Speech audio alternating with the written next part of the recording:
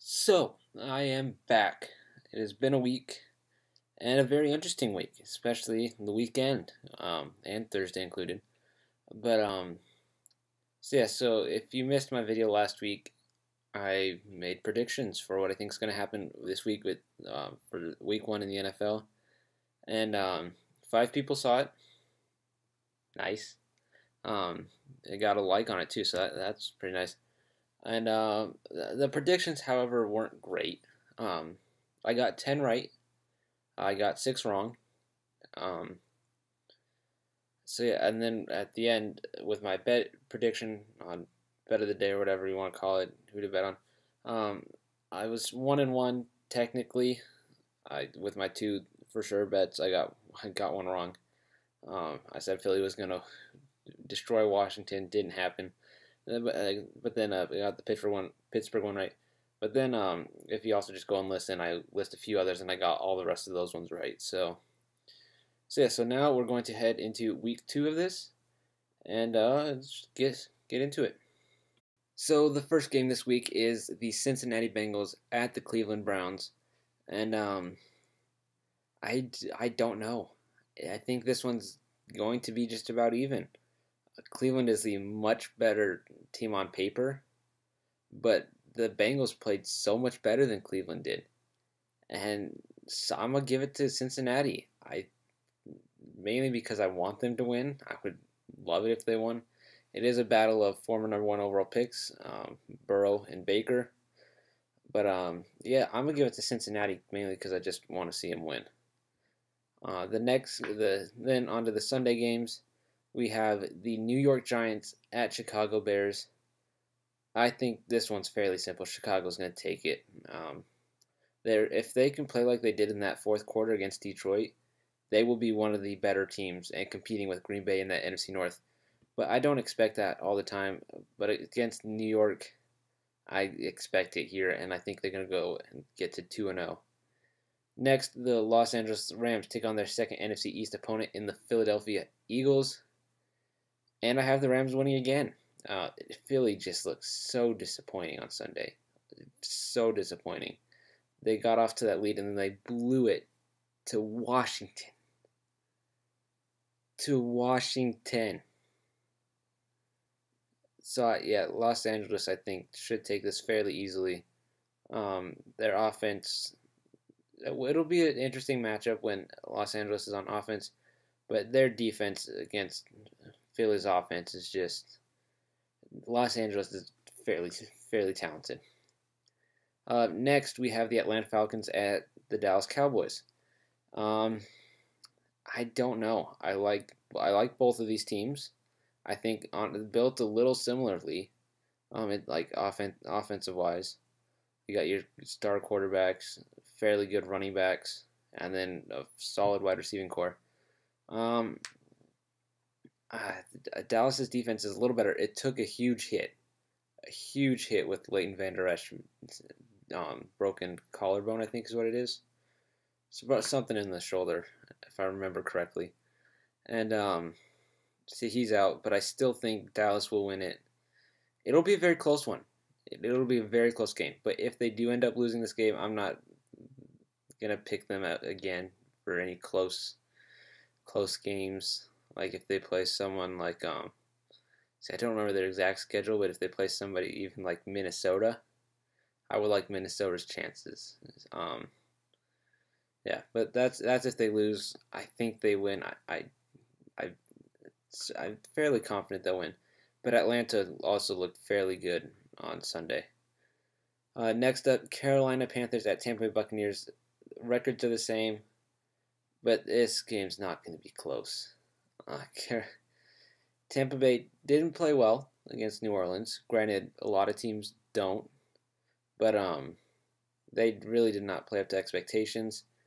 Um, neither did Carolina Panthers for me, and Matt Rhule did not look very like he, Matt Rhule didn't look like a good hiring, which I was kind of disappointed in because I, I liked watching uh, Coach Baylor. So um, I but Tampa Bay is gonna take it. Like I they're just so, so, much more talented, and against the Carolina Panthers team, that offense is just going to explode. So Tampa Bay will get Their first win, Brady's first win outside of New England. Then we move on to San Francisco 49ers at the New York Jets. And uh, yeah, San Francisco's going to take it. I the New York Jets are the worst team in football. I'm I'm just going to say the Jets are the worst team in football. Yeah, 49ers win. Um, next, Denver Broncos at Pittsburgh Steelers. This will be interesting. Um, not, Pittsburgh played fairly well against the Giants. Um, not as good as I was hoping as I was hoping they would do, but um, fairly well. And Denver hung in there with Tennessee. I they should have been blown out. Maybe not blown out. Should have lost by quite a bit more, but thanks to um, some special team miscues by um, or mishaps by the Titans, it got saved a little bit but um, Pittsburgh's going to end up taking it. Um, I yeah, I don't know what I'll say. Uh, their de- Pittsburgh's defense is better than Denver's. Their offense is better, so they're just overall better. Um, now this is in this is the first matchup between undefeated teams. All the other games, at least one team had one loss. But this game, no, I would not have thought this would be the game, the first game to be an undefeated, um, undefeated matchup. It's the Jacksonville Jaguars at the Tennessee Titans. I, I did not think I would ever say those two teams would be undefeated, even though it's only week two. Um, but I think Tennessee is going to take it. I had Jacksonville losing last week to the Indianapolis Indianapolis Colts who I had lower than Tennessee to begin with, so Tennessee's a better team. Uh, Jacksonville just has no one to stop Derrick Henry. Derrick Henry should have a field day, but um, I would love to see Jacksonville win. I just it's I don't think it's gonna happen. So then we move on. NFC North battle. We have the Detroit Lions at Green Bay, and Green Bay's just gonna wipe the floor with them. If they can, what they did to Minnesota who has a very solid defense, and Aaron Rodgers still did all that, imagine what he's going to do to Detroit. Their defense isn't great. Their best cornerback is a rookie. Matt Patricia is a great defensive minded coach, but his team just doesn't back him up this year. And Green Bay's just gonna wipe them. It's it's gonna not even be close. Um, next AFC East battle. Um, Buffalo Bills at Miami Dolphins. Buffalo. Miami is the second worst team in football. Buffalo. Um, next, Minnesota Vikings at Indianapolis Colts. Both were fairly disappointing to me in week one, but um, overall, Minnesota was less disappointing as they lost to a good team, whereas Indianapolis lost to Jacksonville. So I'm gonna go ahead and give this one to the Minnesota Vikings, as I think they are a significantly better team than the Indianapolis Colts. Jonathan Taylor should see a step up in role, uh, as should Nyheim, Nyheim Hines. Will take a huge step up as Marlon Mack went down, but um, should be a very interesting game to watch. Now, uh, the second undefeated undefeated battle. Again, not one I ever thought would happen the Washington football team, 1 0, at the Arizona Cardinals, 1 0. And Arizona's, their offense is going to love it. It'll be a fun day for um for the DeAndre Hopkins, Christian Kirk. Um, it, Kenyan Drake will have fun. Kyler Murray will have fun. Well, he, he does have to worry a little bit about um Chase Young, but Arizona's just they're just not even close to the same level. Uh, it's yeah. Um, next, probably the most interesting matchup, quarterback wise or like star player wise. Uh, we have Lamar Jackson versus Deshaun Watson, Baltimore at Houston, and um, I'm not high on Houston this year. I think they're they'll be lucky to get into the playoffs. I believe. Like their only way in is to win the division. That's their only way in and I have Baltimore winning this game. Not easily, but it's not going to be too big of a challenge. Uh, next, I have Kansas City. At next is Kansas City at Los Angeles Chargers. Kansas City's going to win. I don't think the Chargers deserve to win against the Bengals. Uh, they got a little bit lucky uh, at the end with um, with that injury to dang who's their kicker? I forgot who the uh, Cincinnati Bengals kicker was, but he went down with injury, missed the last second kick. Um, but yeah, they're going to struggle so much against Kansas City. It's not it's not going to be good. So then the Sunday night game. I, I this is the most even game this week. I think by far. The New England Patriots at Seattle Seahawks, and I went back and forth on who I think is going to win. Um, part of it is because I'm a Patriots fan. That's part of it, probably. Um, but in the end, went with Seattle. They're just, they're just so. They're what Wilson's just so good. It'll be. I'm looking forward to watching this game. I really am. Um, I hope Cam Newton can step up. I hope our entire team can step up. But Seattle's going to end up taking this one. And then finally, the sole Monday night game is it'll be intriguing. Um, New Orleans Saints at Las Vegas Raiders. First game in Allianz Stadium, I think is the name of it, if I'm not mistaken. And it's going to be an 0 1 record there. New Orleans is going to take it. They're just too talented. Um, Josh Jacobs is an interesting one to watch here. He had three touchdowns, if I'm not mistaken, in week one. He will not have three touchdowns. Um, he, I he'll be lucky to get one.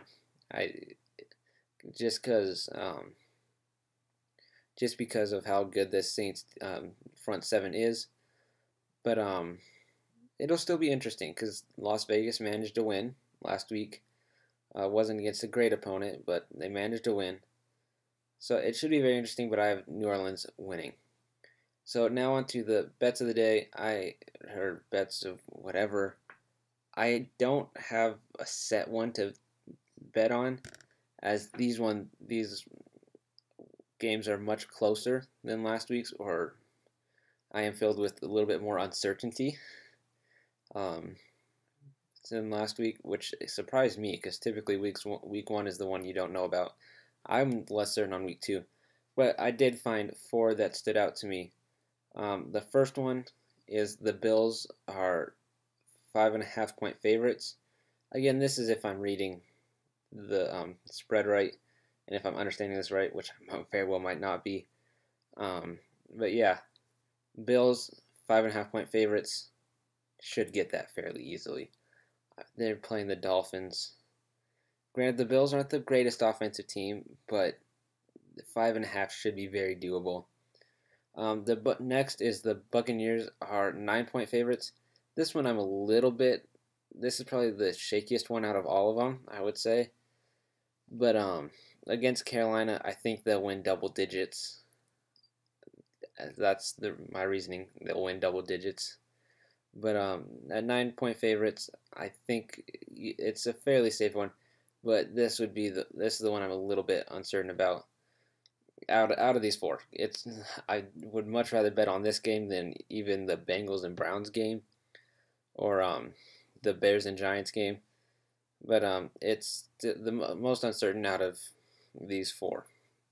Next, I have the Packers as six point favorites against the, the Detroit Lions.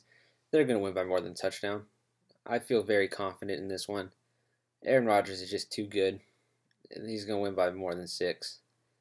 And then finally, the 49ers at seven point favorites. Um, like, I don't can't really say too much about my reasoning for this other than I think they will win by more than by at least seven, especially against the Jets. If I, if this one, if I end up, if this bet is end up like if the 49ers end up losing by like if the Jets are within six points, let's see. I can't think of any good wager quite yet. But I would at least be very shocked. Like I would be I would question my knowledge of football at that point if that ended up happening. But um, yeah, those are those are my four bets. Um, thank you all very much for watching. That's the end of the video. A little bit longer than last week. I'm sorry, um, but it just had just how it happened. Um, thank you all very much for watching. Um, please leave a like, subscribe, and adios.